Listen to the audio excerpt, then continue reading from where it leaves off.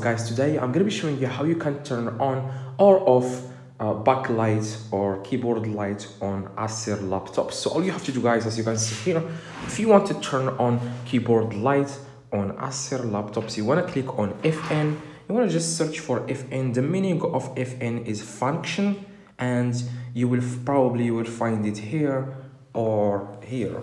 Just search for FN like in your keyboard and click it okay? Click on fn at the same time you want to click on f10 okay?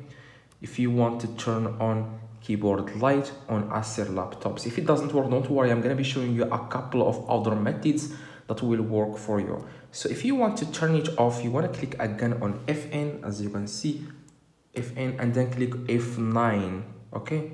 Fn and f9 that's how you can turn off keyboard light on Acer laptops. If it doesn't work, what you want to do guys, if the keyboard light still doesn't work, that's probably because you have like a different laptop, uh, not really a piece like some Acer laptops, they work differently than others. So what you want to do guys, to fix this, you want to click on FN, again the same time, and then try F2, F3, F5, F6, F7, F8, F9. If it doesn't work, click on F5 and F6 without clicking on Fn. Just click on these keys in the top.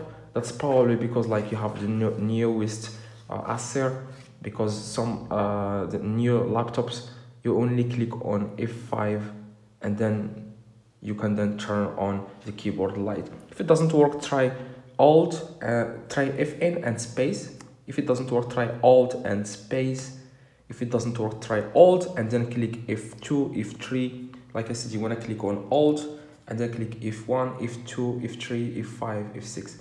These are all the like every um, like the the the keys that um, I showed you in this video works on all laptops. So hopefully this video guys help help you. If it does, please drop a like, subscribe. If you have a gaming laptop, click on FN and then up key. Leave a like. See you guys next.